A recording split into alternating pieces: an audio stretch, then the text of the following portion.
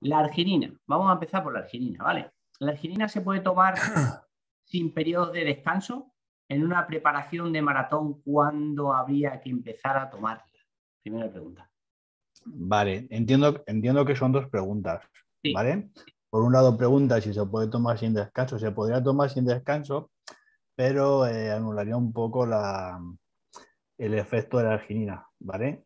Yo soy partidario siempre de hacer periodo de descanso. Tomar, por ejemplo, dos meses y medio, tres meses, descansar una semana, dos semanas. Es lo que, es lo que a mí me gusta, soy de esa, de esa opinión, ¿vale?